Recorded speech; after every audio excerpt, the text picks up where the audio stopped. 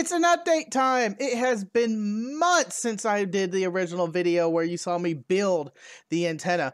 And if you couldn't tell, I was wearing a hoodie back in that video. So it's been that long, especially here in Texas where it's been 100 degrees the last several days. Hot. But this is an amazing antenna. I have done a couple of tweaks to it. And um, before we go to the bench and show you what the tweaks are, just going to give you my final thoughts on this configuration here. I love it. I love it. I love it. When I feel lazy, I only need to take out the band links that I want. Um, nitpicks. This here, been great. I liked it. But overall, I've found the connection with these type of um, clips um, becomes weak over time. And I wish I had put the um, strain relievers in there like Mike did in his uh, end-fed linked antenna. Um, I am going to be looking at that at a future update later. The only other tweak I've done is I soldered these connections, which I'm going to show you in a second, uh, these joints to make them a little bit more secure. Um, I got a little carabiner there. I love it. I love it. I love it. Really, really, really useful. And um, it's tuned almost perfectly in a couple of bands. Um, I haven't tweaked it other than that. With that, let's go ahead and head to the bench and I'll show you what I did with the connectors. And what I'm going to do is I'm going to go through each one of these connectors and I'm going to put some solder on them. A couple times the crimp job was a little loose and I'm just going to bolster them so there is no issues. Also, I need to reverse this antenna. Now, I'll tell you why here in a second. Let's just unwrap this and uh, get started. Now, I'm going to unwrap the 40 meter element first, which is very long. I like to put solder on some crimp connections after they're crimped. Not before, it's always after. This crimp job does look pretty good. We just want to make sure it's not going to go anywhere. I'm going to turn my soldering iron up to about 800-ish because this wire really sucks heat away. Oh, first of all things, tip maintenance. That tip nice, pretty, and silver. Hold it there and ooh, that wire is really heating up. I'm going to do the same for this side. Bring that closer to the camera here. And we just solder the connecting points there and there. Ow!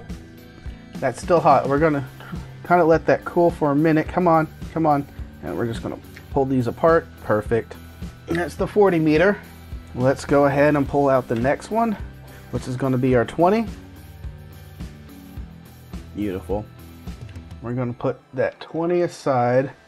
We're going to pull off the 17. From how I had this set up when I was tuning it, um, the 17 element was the first element on here. That's not how I want it in my final configuration. Um, in order to get it where I kind of want it, I'm going to remove the wing nut and pull that out.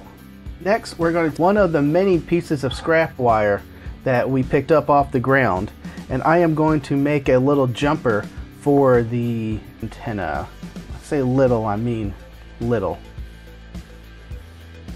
then one end we're going to put the ring on it, cross it with the insulated end, just for giggles. You're going to solder that in place because we don't want this to go anywhere. Next we're going to make it female and shove that in there. So the idea is we have this part that's always going to be on the antenna. I might have chose a sm too small. Oh no. No, it's too small. Oh, I should have checked that. I just assumed that it was all the right stuff. But that's the idea. So let me go ahead and show it one time in practice. I need to wrap these elements correct in order. So give me a second. And here's the final antenna all wrapped up. One more time in practice, we undo this. Then this end with the ring hooks onto the antenna and then we'll unwind it, jump cut. And we only want to play 17 for the day. We'll undo this end. We're left with a male. Then this is the jumper connector that supposedly is going to go here and then we'll connect it to the antenna and now only the 17 meter wire is in play. The rest of it's wind up and out of the way. And while 17 meters bad, let's jump to 20. We'll unhook the jumper connection, pull out the next section of the element. Do, do, do, do. There it is. Undo that, take the male end, shove it into the little jumper wire. That's connected there. And now we got 20 without the hassle of unwinding all of 40. Well, that is it. That's my antenna build minus one little section, but we'll fix that later. I love this. I love Jason's antenna that we made together and it's beautiful. I'm gonna go ahead and wrap this all up to all my tankers out there. Go forth and conquer.